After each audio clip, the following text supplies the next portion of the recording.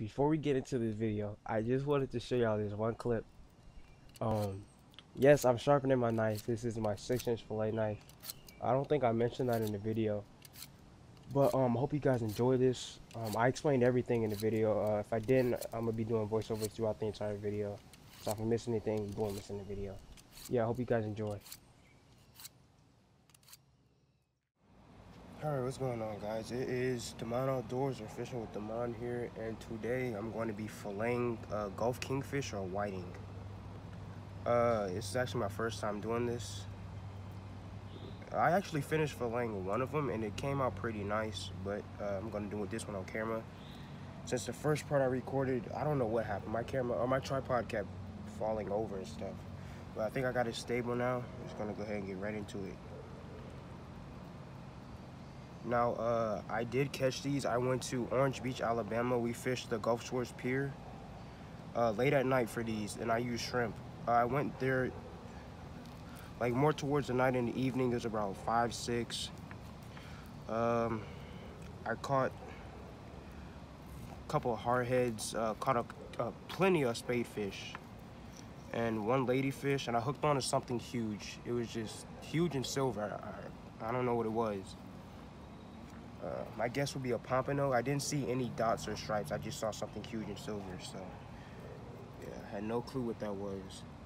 Then the night I went to catch these whiting, uh, caught many hardheads. Uh, three whiting. One I threw back. It was a little too small. And uh, hooked onto something huge. And I, I couldn't see what it was. It was just taking drag. But, uh, yeah, man.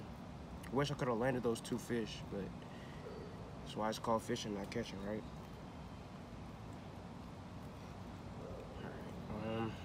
This fish still is a little frozen, so it's gonna be a little hard for me to uh, fillet these, but I'm kind of hungry, so.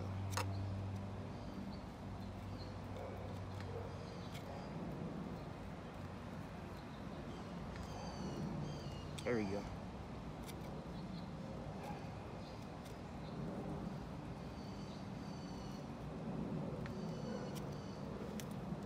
Get that angle here perfect.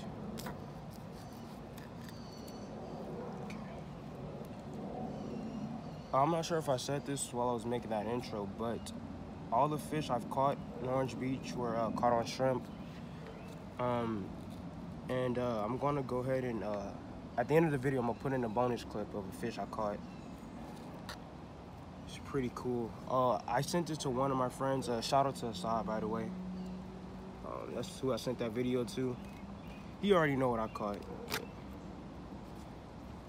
Clipper's pretty cool. I thought I'd just share it. Look at all these flies here.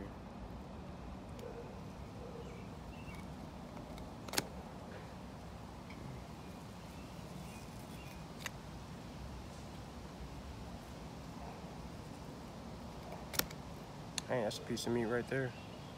I'm gonna save this for my fish. They might eat that.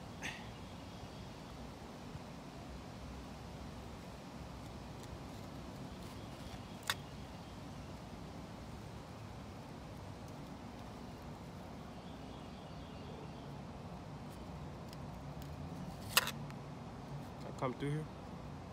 Yeah.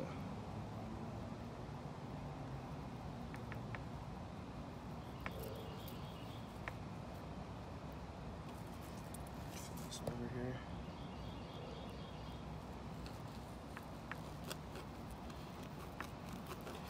Okay.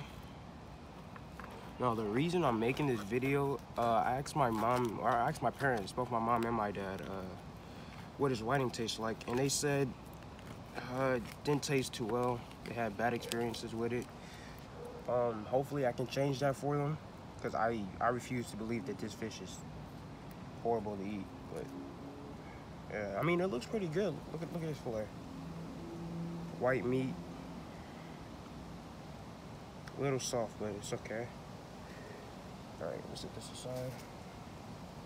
I did miss a little bit. I'm gonna take that out. I missed a little bit.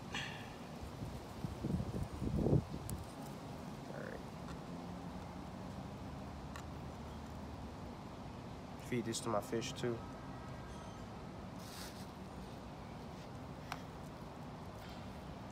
But other than that, y'all, this doesn't look bad at all. All right, we're gonna go ahead and get to the other side.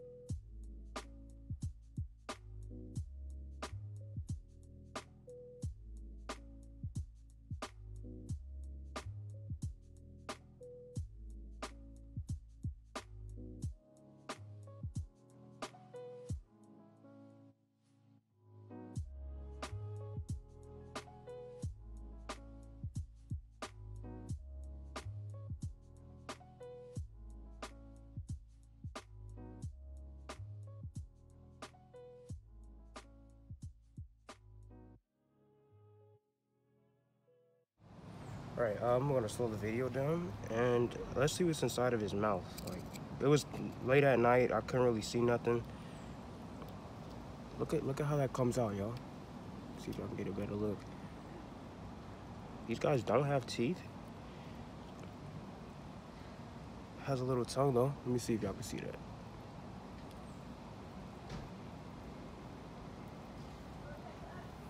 It's funny looking fish.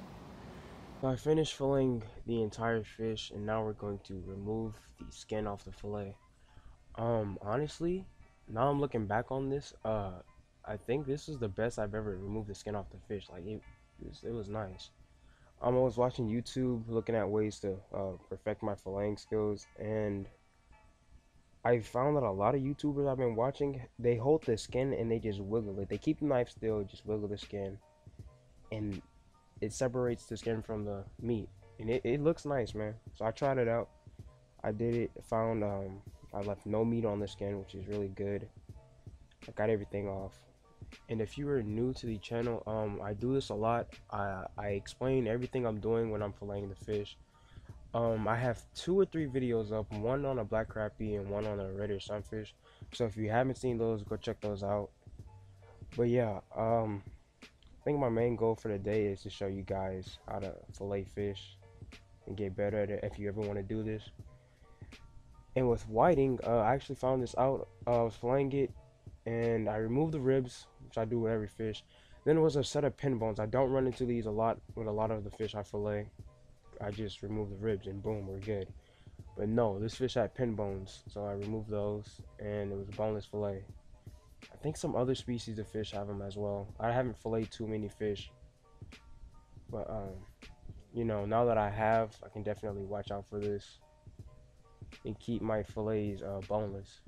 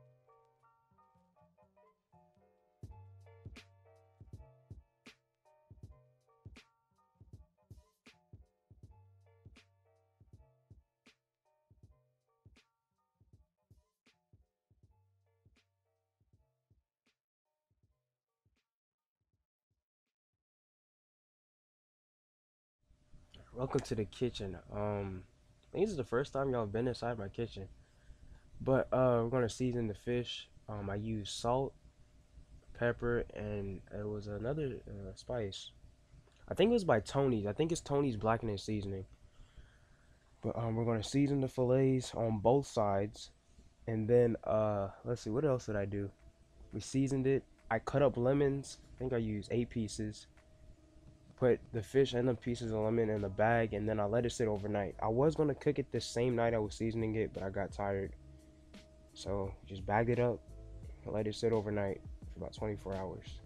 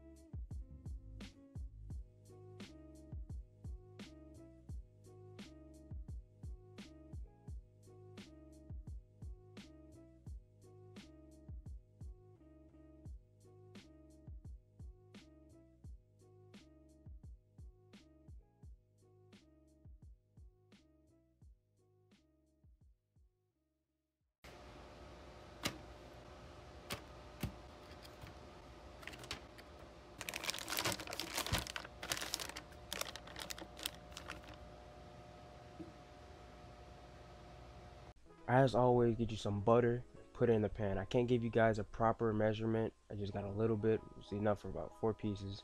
Don't worry um i know put my hand on the pan. The pan was off. Turning it on right now. We're gonna put it on. If your stove has numbers i put it on three to four which that would be like low heat. You go ahead and walk off wait. Now playing. Let your butter melt. Um pick up your pan move it around let the butter get all over the bottom of the pan. And then you can add your fish in guys comment down below if i should use oil in one of the next cooks. I've been thinking you know.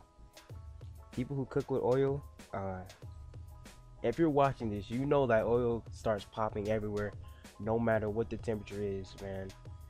I don't i don't know man. You cook anything you cook fries veggies meat oil just goes popping. I, I don't know. So I like to use butter a lot. But yeah, comment down below if I should use oil on one of the next cuts. I might fry something. I don't know. Because these fillets were so thin, I cooked them for 4 to 5 minutes on each side. They came out perfect. Um, I was able to change my mom and dad's view on this fish. They said it was really good. They would eat it again. Um, I think, uh, maybe the fish, when they were eating this in the past, it probably wasn't fresh. So I can't blame them for that But, you know, I was happy to change their view on this fish. Um, I plated it with rice and just the fish by itself. I didn't have a lemon this time because I used it to put in the bag, but it's alright. Um, I hope you guys enjoyed this video. Uh, comment down below what I should do next. And I'm going to include this clip. Alright, I recorded this from my action camera. The audio isn't going to be too good, but I think I fixed it to where you guys can hear what I'm saying. But yes, I hope you guys enjoyed.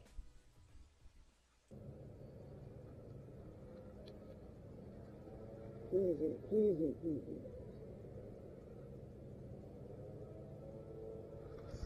Let's go.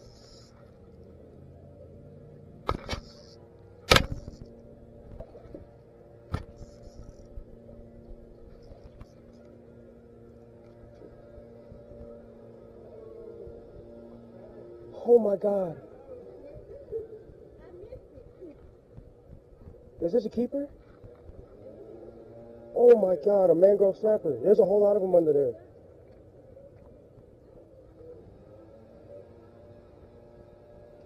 Oh.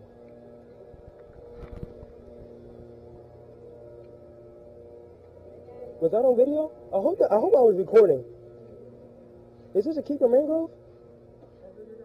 I think I gotta be 12 out here.